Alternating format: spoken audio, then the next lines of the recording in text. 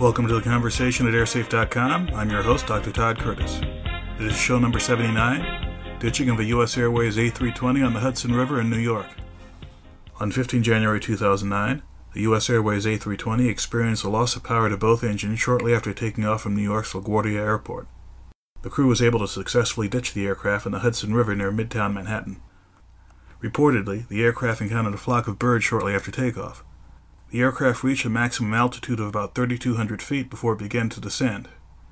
After ditching, all five crew members and 150 passengers evacuated the aircraft. One passenger sustained serious injuries. According to early reports, the aircraft took off normally toward the north, but the flight crew reported striking a flock of birds about two minutes after takeoff.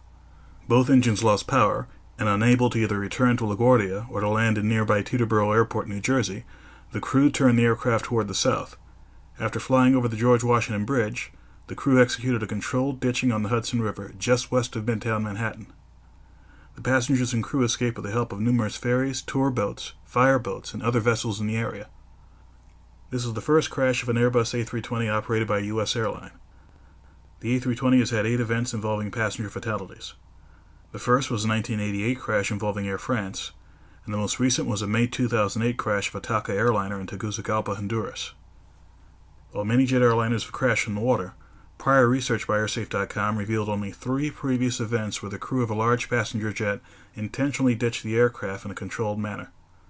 Prior to the US Airways event, the most recent ditching involved a hijacked Ethiopian Airlines 767 in 1996. The others included a 1963 ditching of an Aeroflot jet in Leningrad, present day St. Petersburg, and a 1970 ditching of a DC 9 in the Caribbean. Fatal and serious bird strike related crashes of large jet aircraft are also quite rare. The last fatal U.S. bird strike accident involving a large jet was the crash of a U.S. Air Force E 3 AWACS in Alaska in 1995. The last time bird strikes led to passenger deaths in the U.S. was in 1960 in Boston.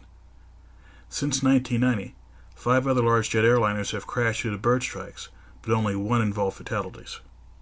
The NTSB is currently investigating this U.S. Airways accident. For updates on this investigation, and for the latest news from airsafe.com, visit hudson.airsafe.org. Thanks for listening, and I'll see you next time.